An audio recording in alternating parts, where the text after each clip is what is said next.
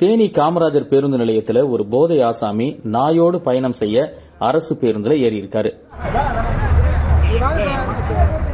அப்போ கண்டக்டர் நாயோட ஒரு போதை ஆசாமி பஸ்ல ஏறத பார்த்த உடனே பேருந்துல பயணம் செய்யக்கூடாது அப்படின்னு சொல்லி அவரை கீழே இறக்கியிருக்காரு. இதனால அந்த கண்டக்டருக்கும் அந்த போதை ஆசாமிக்கும் இடையே தகராறு ஏற்பட்டிருக்கு. இந்த தகவல் அறிந்து போலீசார் பழைய பேருந்து நிலையத்துக்கு வந்து போதை ஆசாமியை பேருந்திலிருந்து இறங்க சொல்லி வற்புறுத்தியிருக்காங்க. இதனைத் தொடர்ந்து போதை ஆசாமி பேருந்தை விட்டு இறங்கியிருக்காரு. இந்த சம்பவத்தினால தேனி பேருந்து நிலையத்தில் சற்று நேரம் சலசலப்பு ஏற்பட்டது.